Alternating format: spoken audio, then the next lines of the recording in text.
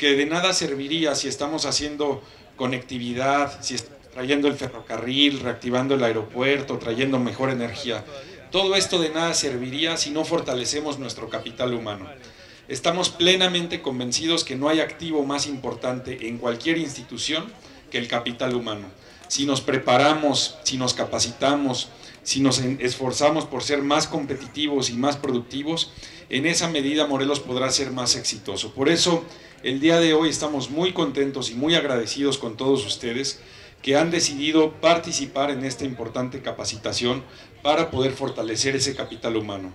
Porque si no nos ponemos las pilas, con todo esto que está pasando en el estado de Morelos, el crecimiento que estamos viviendo, si no nos ponemos las pilas, llegará gente también de otros estados a aprovechar todas estas oportunidades. Lo que nosotros queremos es que las oportunidades sean para los morelenses, para la gente que se la ha jugado y se ha rifado la camiseta por estar aquí en Morelos.